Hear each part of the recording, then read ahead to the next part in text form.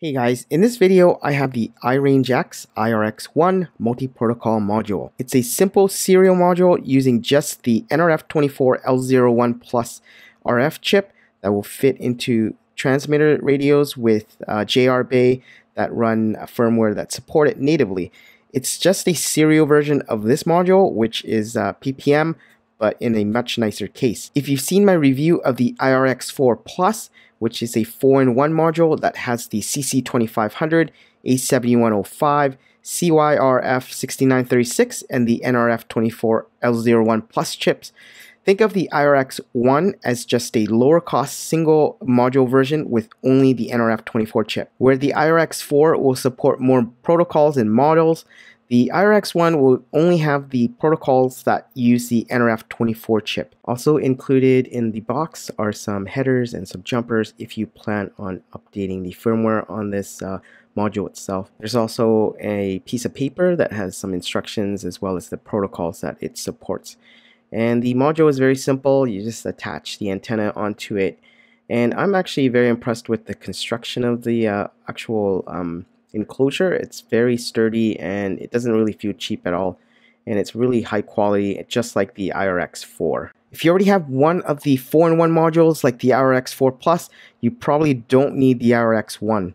Like I mentioned, the IRX1 module runs in serial mode unlike other single chip modules which run in PPM mode, which means you'll need firmware that will support it in my case, I'm using OpenTX, which will work with it. This should work with the FrSky Taranis and the Turnigy 9XR Pro as long as the as long as they run firmware that has multi-module compiled in. So in this video, I'll show you how to download and install OpenTX with multi-module support and set up a simple 4-channel configuration and also bind it with the quadcopter. To update your transmitter to the latest version of OpenTX, the first thing we need to do is download OpenTX Companion, which allows you to download OpenTX firmware.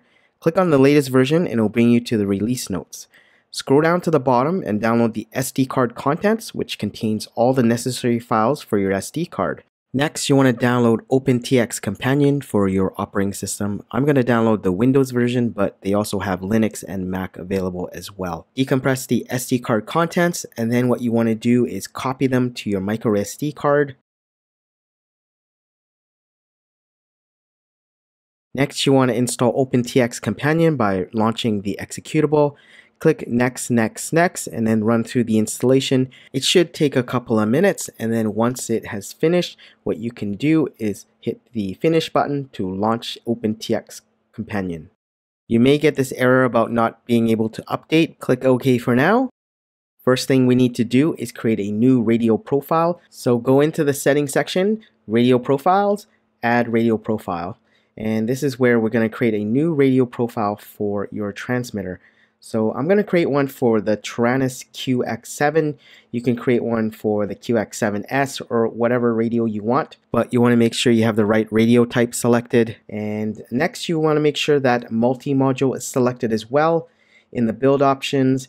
If you don't do this, your multi-module will not work. So make sure you check that off. And for the other settings, you want to make sure you have mode 2 and default channel order is AETR and have that selected. I also have a pen version number to firmware file name and then click OK. And after creating the radio profile, we can start to download OpenTX for your transmitter. So click the download button at the top and uh, make sure everything is correct and then click download firmware.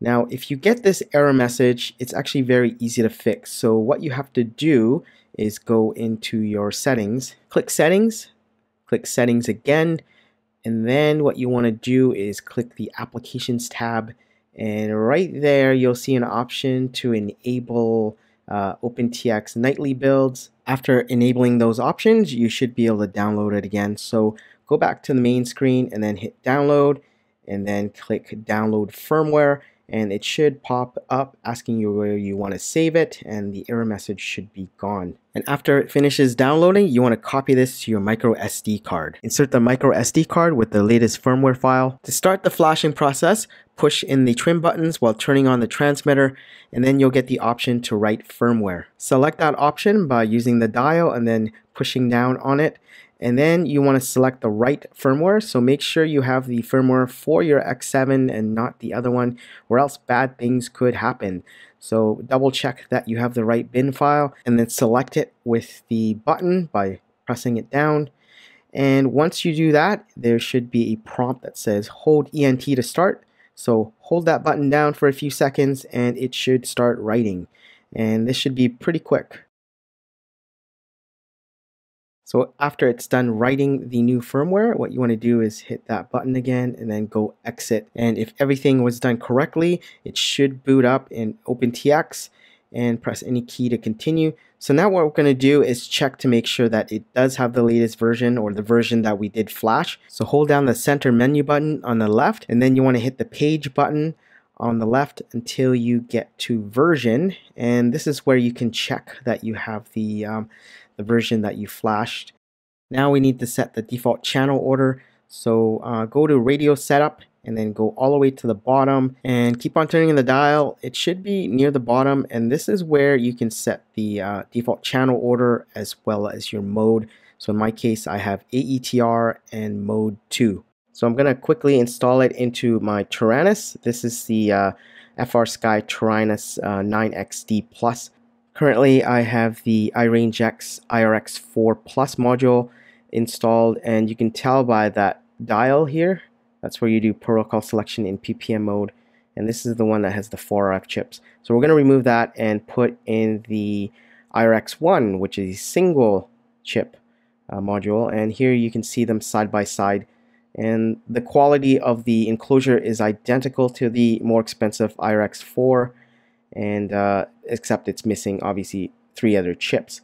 So I'm going to plug it in and it just snaps in super easy. And that's it. That's how you install these modules. It's super easy to do. So now I'm going to show you how to set up a new model in this uh, transmitter using OpenTX. So what you want to do is hit the menu button and this will bring you to the model selection screen. Next you want to select an empty slot and then hit enter and create model. And we're not going to use the wizard so I'm going to hit the exit button and we're going to create one from scratch. So hit page and give your model a name. I'm just going to temporarily give it like AAA and next thing you want to do if you want you can select a different model image.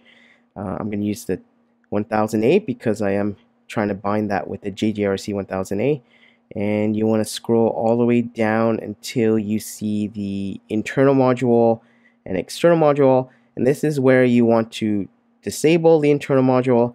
So I'm going to do that now by uh, turning it off. Um, and now go down to external module and we want to enable that. So put it to MULT and next is uh, protocol selection so even though you can select these other various protocols they aren't the chips themselves aren't physically in the uh, in module, so they won't work. So the V2X2 protocol is supported, so that's what I'm going to select, and that's the one, that's the protocol that's used by the JJRC 1000A.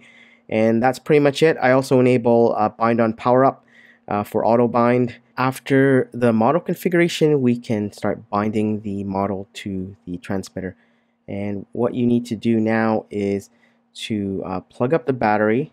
First of all, we'll go to the to the bind page for this model and we're going to go here and plug the battery up to the um, the quadcopter and it should start blinking and then what you need to do is hit enter and the transmitter will start beeping and once the lights are steady or when they turn off like that that's when you know that it is bound and hit exit and then you can move the throttle stick up and down.